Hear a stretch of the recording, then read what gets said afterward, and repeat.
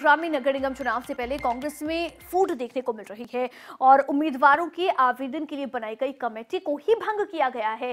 कांग्रेस प्रदेश अध्यक्ष उदय भान ने कमेटी को भंग किया। कमेटी भंग करने को लेकर उदय भान की ओर से कहा गया प्रदेश कांग्रेस कमेटी को ही आ, कमेटी बनाने का अधिकार है। इस कमेटी का कोई भी औचित्य नहीं है। कैप्टन अजय सिंह यादव और करण सिंह दलाल ने ये कमेटी बनाई थी।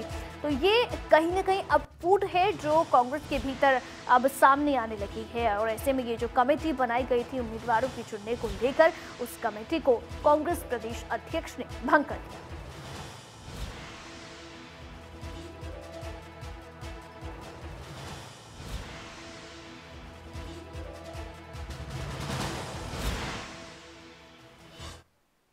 बनाए गए हैं। उनका काम सिर्फ़ एप्लीकेशन लेने का और उनको स्क्रूटनाइज करके उनसे बात करके इंटरव्यू ले करके पैनल बना करके पीसीसी में भेजना है।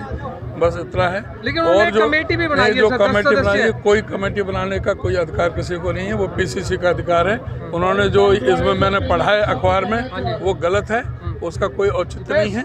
जो कमेटी बनाएँगे वो हम बनाएँगे पीसीसी बनाएँगे। अब जो कमेटी में मेंबर बनाए गए वो नहीं नहीं कोई नहीं।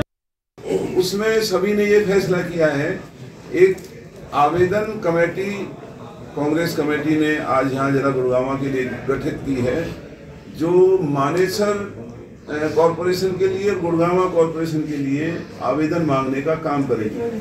और उस कमेटी के जो नाम हैं, उनमें श्री अशोक भास्कर जी, श्री के एल यादव जी, श्री इंदर सिंह जी, श्री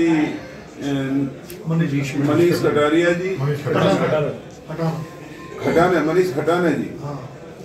श्री सुनीता सुनीता श्रीमती सुनीता शेरा